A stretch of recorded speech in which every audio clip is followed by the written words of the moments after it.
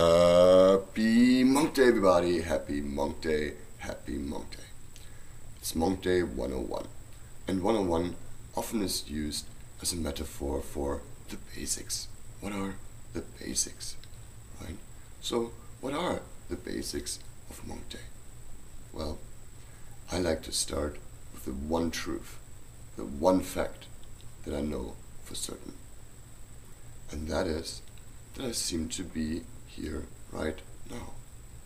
I seem to be here right now. It's the one thing I know for sure. Everything else is based on my assumptions. If I think about yesterday, if I try and remember yesterday, I'm really reimagining it. Mm-hmm. And we've shown again and again how fallible human memory actually is. And it's because we're not remembering facts. We're remembering our experience and we reimagine it when we try and go back there. The same is true for the future, right? Because I don't know what the future is.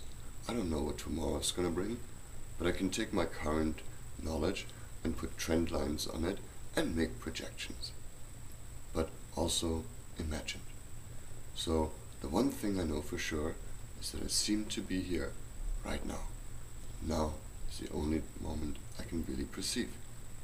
And what am I using to perceive the fact that I'm seeming to be here right now? I'm using, in the very least, my fourfold body. I'm using my sensing apparatus, my physical consciousness, that lets me know if I'm warm or cold, if I need food or rest, or if I'm excited about somebody from the way they look. Mm-hmm. Or smell, or taste, or sound. Five senses.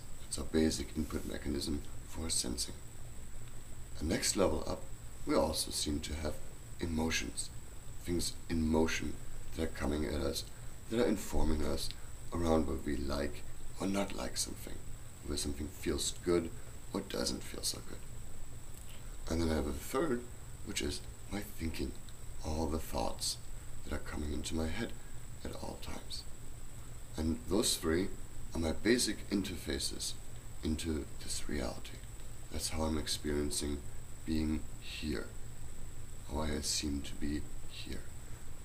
And there's a fourth. And that fourth is the one that's asking the question. The one that says, Who am I right now? Right? Who am I? Who's asking that? That is my fourth interface into being here. And then there's a couple of more for different states of consciousness. When you're sleeping or meditating, dreaming, those kind of things. But let's keep it simple for this round, because, right, it's all about the basics. And here they are. I seem to be here right now, and I'm perceiving this reality through sensing, feeling, and thinking, and I have an observer who can, activate by asking myself, who am I right now?